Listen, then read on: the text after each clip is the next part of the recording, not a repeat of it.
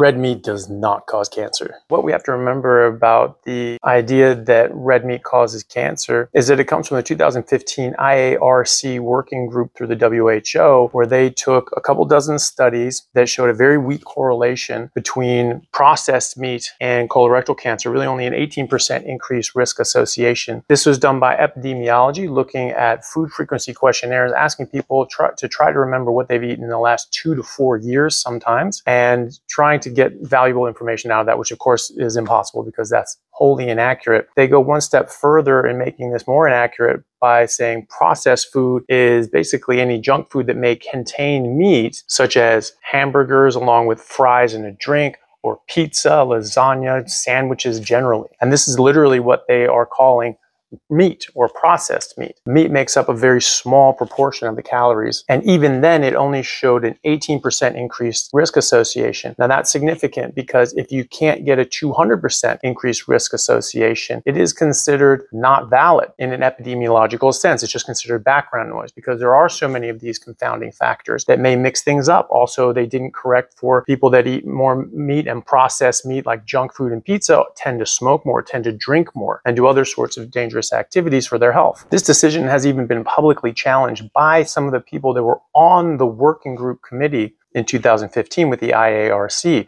such as Dr. David Klurfeld, who's an extremely esteemed long-term doctor and researcher for the USDA, long-term nutritional researcher, professor of medicine, and has over 200 peer-reviewed publications to his name, as well as book chapters. He has stated publicly numerous times that the 2015 IARC decision on meat and red meat in particular was the most frustrating professional experience of his life. And this is because he watched them throw out hundreds of good quality studies that showed no correlation whatsoever between even processed meat and cancer, but especially not unprocessed red meat and cancer of any form, and instead chose the few studies that showed a very weak correlation that again did not reach the threshold of 200% increased risk association, and then used that to say this is definitive proof that meat causes cancer and unprocessed red meat may cause cancer. He also pointed out that many of these board members that pushed for those studies to be thrown out and the others held actually had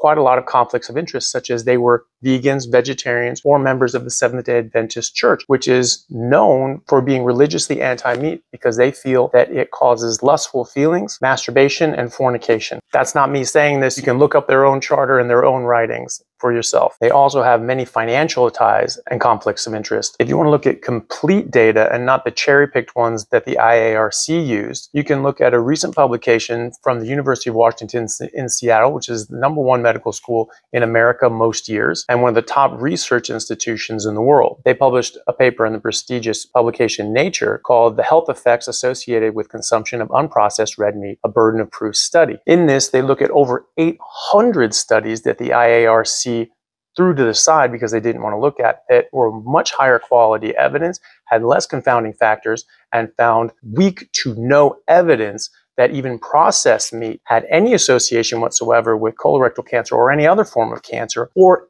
any disease at all, including cardiovascular disease or diabetes, and no link whatsoever between unprocessed red meat and any of these conditions, including cancer, heart disease, etc. So really the claims against meat causing cancer really just amount to bias and cherry picking and not real data driven science.